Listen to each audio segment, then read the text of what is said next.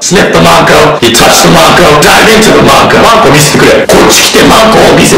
Come here and show me that little pussy. Show me that cute little pussy. In Japan, it's more about the way you say it. Hmm. So if you want to say, hello, come shake that little pussy, you would say, ah, ちょっとマンコ見せて。It's very nice, but if you want to say, come show me that little cunt, bitch, you say, oh.